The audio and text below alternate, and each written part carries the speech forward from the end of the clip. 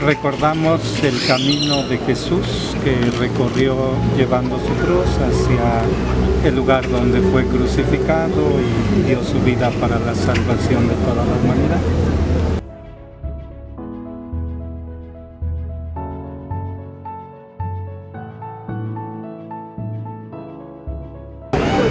Así como algo en específico, pues más bien tratamos de englobar las necesidades de nuestra iglesia, de nuestro mundo, de nuestra sociedad, de todas las situaciones que vamos viviendo.